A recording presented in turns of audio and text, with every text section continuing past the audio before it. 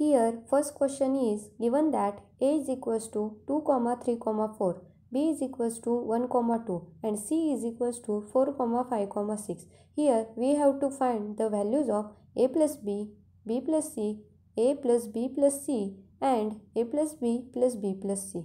The solution of given problem is given that a is equals to 2 comma 3 comma 4 b is equals to 1 comma 2 and c is equals to 4 comma 5 comma 6. By multiplying sets, the value of a plus b is 1 comma 2 comma 2 comma 3 comma 4. The value of b plus c is 1 comma 2 comma 4 comma 5 comma 6.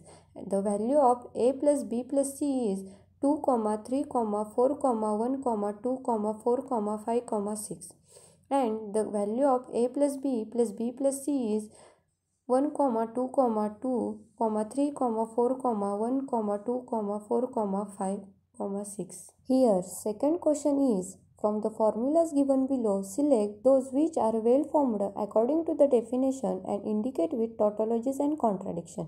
Given that p implies p or q consider the first equation is p implies p or q is equals to negation of p or p or q is equals to negation of P or P or Q is equals to T or Q is equals to T. Thus, equation 1 is the well-formed formula and this is tautology.